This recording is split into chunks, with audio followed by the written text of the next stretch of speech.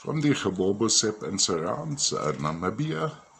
Of course, famous for the lovely Brandberg quartzes. Um, we have a, a, matrix of a basalt lava, quite typical to this, and then associated we usually find zeolite minerals.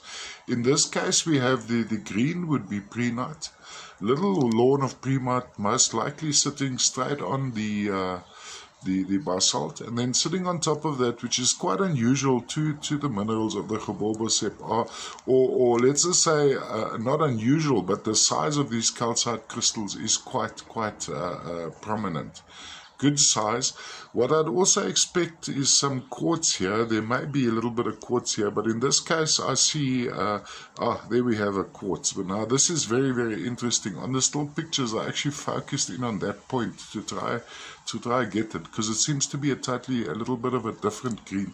That seems to be well, maybe a a, a green tipped. Um, calcite crystal, most likely, all the way from the Goboboseb and surrounds, uh, uh, Namibia. In this case, calcite with prehnite, quite a lovely piece. Um, my still pictures did it no justice. Actually, as I'm seeing it here, it's quite, quite, quite lovely